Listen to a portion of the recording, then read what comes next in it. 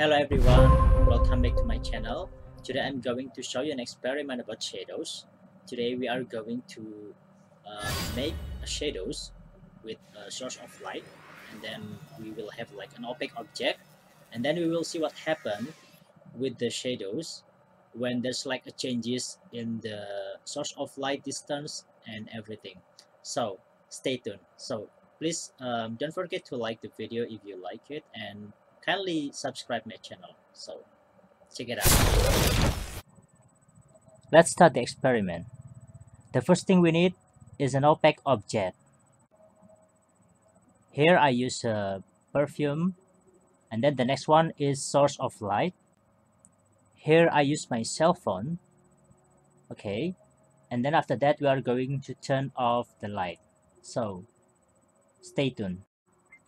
Okay now I've already turned off the light in my room. The first question is that I okay I'm still holding the source of light. What will happen? The first question is what will happen if there's an opaque object blocking the light?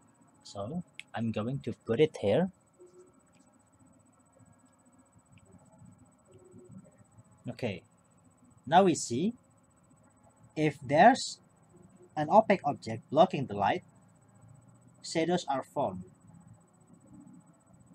The next question, what will happen if we make the source of light and the opaque object distance getting closer each other.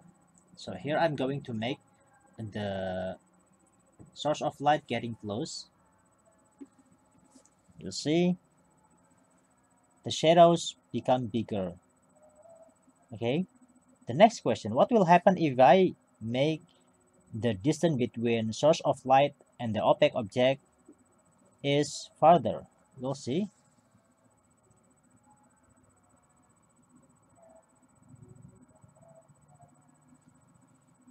Okay? The shadows is become smaller Next question, what will happen if I put the source of light on the left? So I'm gonna put my cell phone on the left of the opaque object. Of, okay. So now we'll see the shadows goes to the right. So if the source of light is on the left, the shadow will be on the right. The next question, what if happen if the source of light is moved to the right? Going to move it. You can see the shadows also move to the opposite of the source of light. The source of light on the right, the opaque, the shadows of opaque object on the left. The last questions, what will happen if I put the source of light right above the opaque object? We'll see. This just like happen when it is at noon. When it is close like this the shadow is really big. But when it is a bit far the shadows will be very small. This is just like uh, what happened. If it is like um, at 12 o'clock at noon when it is going very very a bit farther going upper the shadows become really small.